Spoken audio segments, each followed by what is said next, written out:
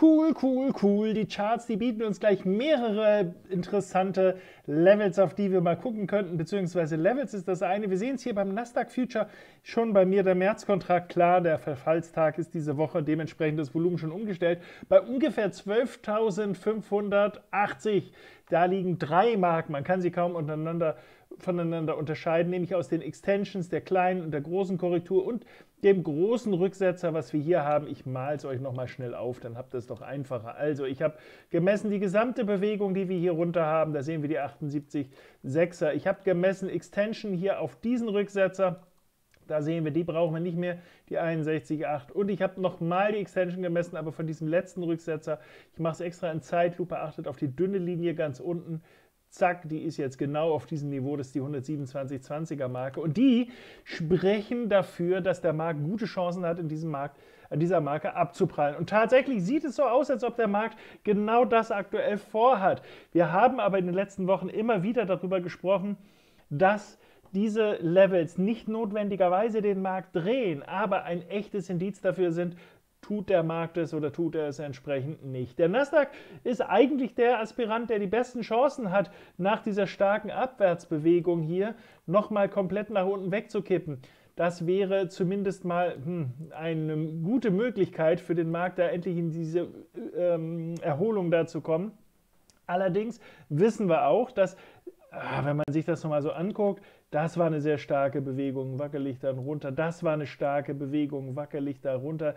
Das war eine starke Bewegung. Hier hinten sieht man sogar intern sowas wie diese Fünffälligkeit. Hm, das sieht eigentlich alles noch nicht so wirklich danach aus, als ob das jetzt schon ähm, das Ende der bullischen Marktphase ist. Deshalb wird es umso wichtiger sein, darauf zu achten, ob der Markt jetzt in den nächsten Minuten das macht, in den nächsten Stunden, oder ob er dann ähm, also das macht und dann vielleicht irgendwas Wackeliges uns hier nach oben wieder mal bringt oder ob er jetzt auch wieder nur, so ähnlich wie wir das hier vorne auch hatten beispielsweise oder hier im Großen hatten, ob er wackelig hier runterkommt, dann wäre das das nächste Kaufangebot eigentlich an den Markt. Spannende Marke also hier, jetzt da genau drauf gucken, lohnt sich auf jeden Fall. Da ist es beim amerikanischen Markt eigentlich ein ganz anderes Bild. Äh, beim amerikanischen Markt, das ist der Nasdaq natürlich auch, aber beim breiten amerikanischen Markt, beim SP 500, ebenfalls der Märzkontrakt hier schon.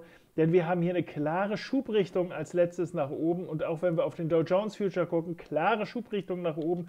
Man ist fast gewogen, das ein bisschen so aufzufassen. Und da seht ihr wieder diese fünffällige Struktur.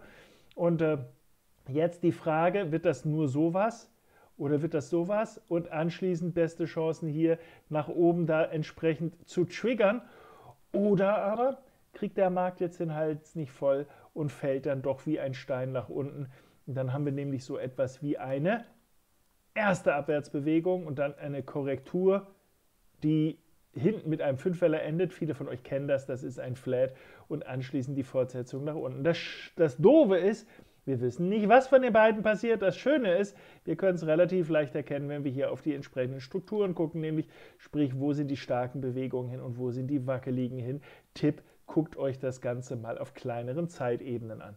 Wenn ihr das äh, nicht immer nur alleine machen wollt, sondern auch gerne mal zusammen mit mir beispielsweise, dann kann ich euch empfehlen, Guckt euch äh, das mal an, ob ihr nicht einerseits den Trade des Tages abonnieren wollt. Da stellen wir dann immer wieder Trading-Situationen vor, wenn wir da was finden, was klasse ist mit unseren ganz konkreten Handelsmarken. Oder aber ihr schaut euch das Born for Trading live an.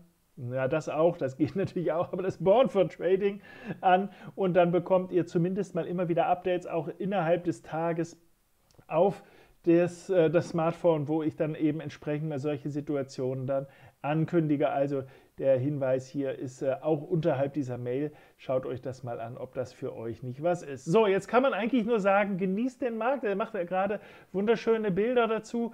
Schaut euch das mal ein wenig genauer an. Wir werden das jetzt auf jeden Fall gleich mal tun und äh, dementsprechend gehe ich davon aus, dass wir uns gleich mindestens an den Märkten nochmal wiedersehen. Bis dahin macht's gut.